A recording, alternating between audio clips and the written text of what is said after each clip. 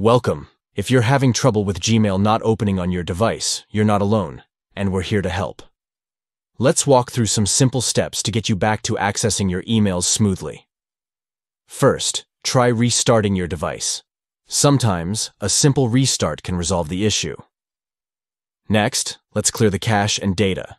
Head to Settings, then Apps, and find Gmail. Once there, tap on Storage and clear the cache.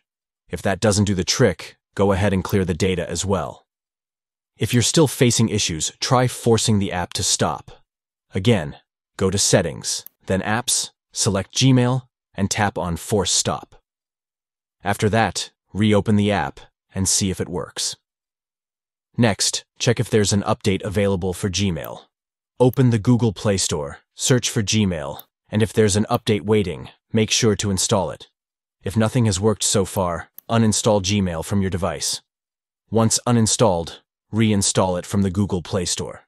Lastly, ensure that your Android operating system is up to date. Navigate to Settings, then System, and select Software Update to check for any updates. There you have it. With these steps, you should be able to fix Gmail not opening.